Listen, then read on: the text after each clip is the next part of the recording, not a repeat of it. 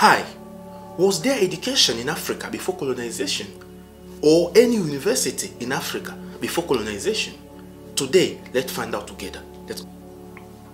Do you know that Northern Africa and the Nile Valley in 295 before Christ, the Library of Alexandria was founded in Egypt. It was considered the largest library in the classic world.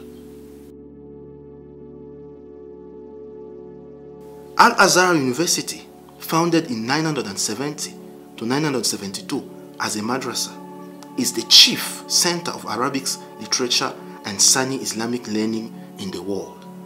The oldest degree granting university in Egypt after the Cairo University, its establishment date may be considered 1961 when no religious subject were added to its curriculum.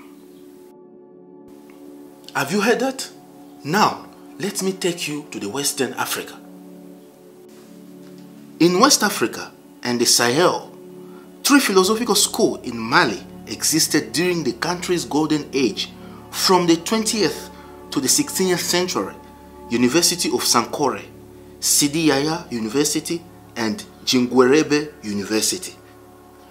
By the hand of Mansa Musa's reign in Mali, the Sankore University had been converted into a fully staffed university with the largest collection of books in Africa since the Library of Alexandria. The Sankore University was capable of housing 25,000 students and had one of the largest libraries in the world with between 400 and 700,000 manuscripts. Timbuktu was a major center of book copying, religious groups, the sciences, and arts. Scholars and students came throughout the world to study in its university. It attracted more foreign students than New York universities. Now you know that Africa was the center of education before colonization.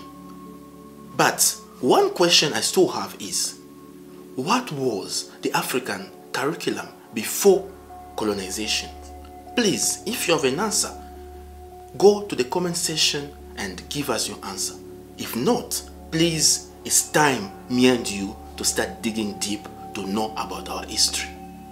Today, you know that African education did not start after colonization.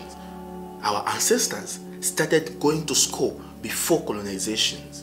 So please share this video, make this knowledge to be known to all Africans that Africa is not what we see today. Africa started way back before colonizations. And remember, no one can tell our stories better than ourselves. I'm Idrissa.